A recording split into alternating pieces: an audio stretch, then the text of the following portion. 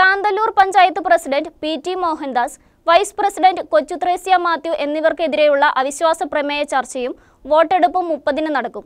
Devikulam B ബന്ധപ്പെട്ടവർക്ക് notice നൽകി. അഞ്ച് കോൺഗ്രസ് അംഗങ്ങളാണ് അവിശ്വാസം രേഖപ്പെടുത്തിക്കൊണ്ട് നോട്ടീസ് ഒപ്പിട്ട് നൽകിയിരിക്കുന്നത്. പതിമൂന്ന് അംഗങ്ങളാണ് കാന്തല്ലൂർ പഞ്ചായത്തിൽ നിലവിലുള്ളത്. ഭരണസമിതിയിൽ ആറ് സി പി എം അംഗങ്ങളും ഒരു സി പി ഐ അംഗവുമാണ് ഉള്ളത്. പ്രതിപക്ഷത്ത് അഞ്ച് കോൺഗ്രസ് അംഗങ്ങളും ഒരു ബി ജെ പി അംഗവും. കോൺഗ്രസ് പാർട്ടി കൊണ്ടുവന്ന അവിശ്വാസ പ്രമേയത്തിന് അനുകൂലമായി സി പി ഐ അംഗമായ panchayat standing committee chairman P Biju നിലപാട് എടുത്തിട്ടുള്ളതായാണ് സൂചന. ഇയാൾ കോൺഗ്രസ് പാർട്ടിയുമായി സഹകരിച്ച് പ്രവർത്തിക്കാൻ തീരുമാനിച്ചതായ സൂചനകളുണ്ട്. ഇദ്ദേഹം ഒരാഴ്ചയെ കാന്തല്ലൂരില്ല. ഫോൺ നിശബ്ദവുമാണ്. പി ബിജുവിനെ U D F ഒളിപ്പിച്ചിരിക്കുകയാണെന്ന് C P M area secretary V Sijimon പറഞ്ഞു. പി ബിജു കൂറുമാറി കോൺഗ്രസ് പാർട്ടിയോടൊപ്പം ചേർന്നാൽ സി പി എമ്മിനും കോൺഗ്രസിനും ആറ് അംഗങ്ങളാകും. ഏക ബി ജെ പി അംഗം അശ്വതി മുരുകന്റെ നിലപാട് ഇതോടെ പ്രധാനമാകും. ഇരുപക്ഷവും രഹസ്യമായി പല നീക്കങ്ങളും നടത്തി വരുന്നുണ്ട്. News bureau Marayoor.